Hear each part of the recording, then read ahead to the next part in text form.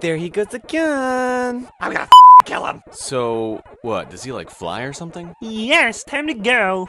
I don't know. I always thought he kind of rolled. Well, like his face is always in the same position, so that can't be right. He has to fly, man. He has a face? Yes, time to go. Yeah. So, what are you doing tomorrow? I don't know, probably go left and then circle around to the right. You know, mix it up a bit. That's what I was gonna do today. Wavelength! Wow, dude, you suck. Shut the up!